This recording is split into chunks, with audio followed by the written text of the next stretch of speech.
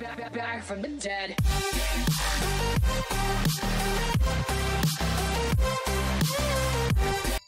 Ja, willkommen zu einer Episode der Fortnite Daily News. Heute geht es um Updates zum Iconic Skin, da gibt es nämlich interessante Neuigkeiten zu.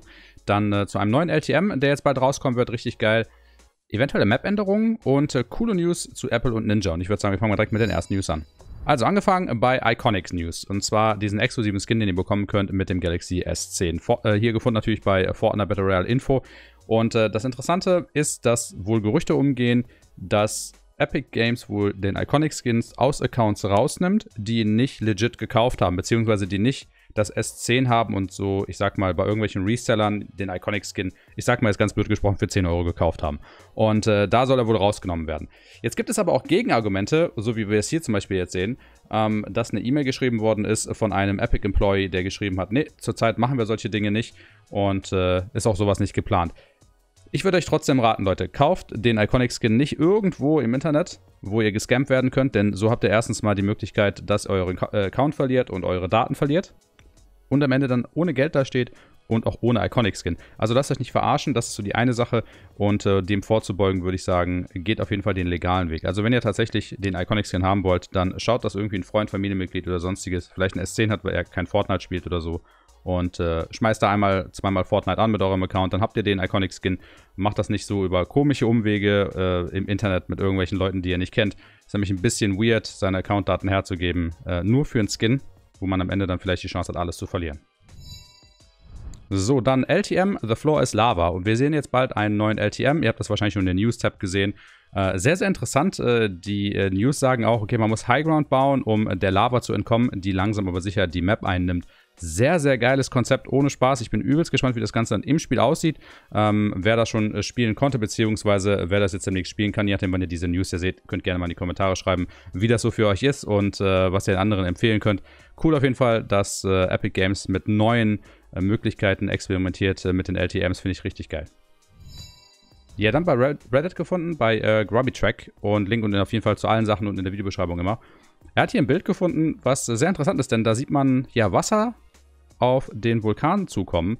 Ähm, Sieht wohl so aus, als wenn das ganze Eis geschmolzen ist. Ob das Ganze jetzt so wirklich passiert, das ist natürlich immer so dahingestellt, aber Epic teast immer gerne mal so Kleinigkeiten an, vielleicht auch selber im eigenen Spiel in Form von Bildern.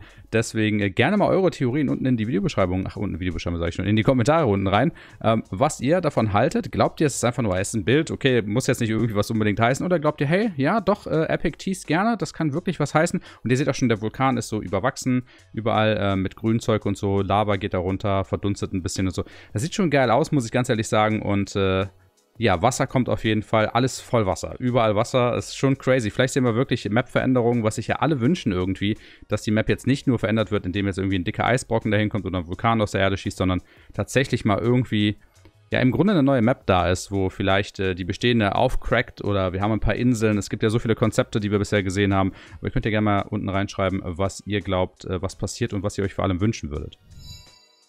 Ja, dann bei den letzten News. Äh, Ninja hat gestern getwittert, dass äh, um 12 p.m. Noon, am 25. März, also heute, dass wir heute Abend um 17, 18 Uhr äh, hier deutscher Zeit ähm, etwas stattfinden wird. Er hat das hier gepostet. Viele haben gesagt, hey, das ist Apple. Das ist natürlich nicht Apple. Das ist natürlich ein, äh, ihr seht ja, es ist kein Apfel, aber es ist natürlich eine Anspielung auf Apple. Ähm, und einige haben erst gedacht, hey, es ist vielleicht iCarly, kommt iCarly zurück oder so.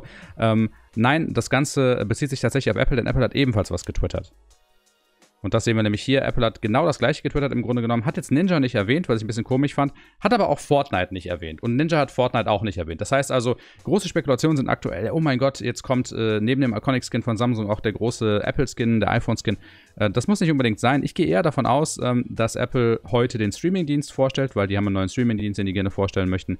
Und äh, vielleicht sogar einen Gaming-Dienst, denn wir haben gesehen, dass Google ja einen neuen Gaming-Dienst dieses Jahr vorstellt mit Google Stadia, ähm, wo man streamen kann und keine Hardware mehr braucht, was sehr, sehr, ja, ich sag mal, zukunftsweisend ist und was ziemlich geil sein könnte. Wir müssen erstmal abwarten und Apple hätte vielleicht auch die Möglichkeit und die Infrastruktur, sowas auch hochzuziehen und vielleicht in den Gaming-Markt einzudringen, mit vielleicht mit einem neuen Apple TV ähm, oder wer weiß was. Also einen großen Spielemarkt hat man auf jeden Fall. Ob der Spielemarkt gut ist, ich meine, Mobile Games ist dahingestellt, muss man nicht mögen, äh, aber auf jeden Fall großen Zugriff über ihre eigene Plattform haben sie auf jeden Fall. Mal schauen, wie ernst das Ganze wird. Auf jeden Fall heute gespannt, nach 17, 18 Uhr ungefähr soll das Ganze sein, wir mal die Augen aufhalten. Morgen in meinem News-Video werde ich auf jeden Fall mal ein Update reinschreiben.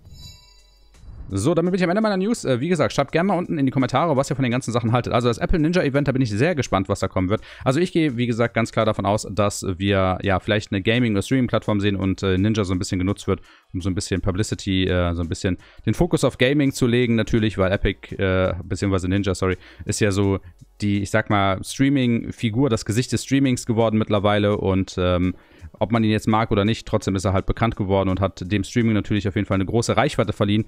Ähm, natürlich auch mit Fortnite. Deswegen, ähm, ja, das zum einen. Ich glaube nicht, dass das eine äh, Kooperation mit Fortnite wird, sonst hätte man wahrscheinlich Epic Games oder Fortnite äh, getaggt in den äh, Tweets. Äh, deswegen gehe ich eher davon aus, dass das was Eigenes wird von Apple selber. Bin ich sehr gespannt, wie das Ganze dann wird. Wie gesagt, eure Meinung mal unten in die Kommentare, auch zu allen anderen Themen. Und wenn euch das Video gefallen hat, lasst gerne ein Like da, lasst gerne ein Sub da, unterstützt mich gerne mit dem Creator Code Snipes. Dann hören wir uns morgen zur neuen Episode. Also bis dahin. Ciao, ciao.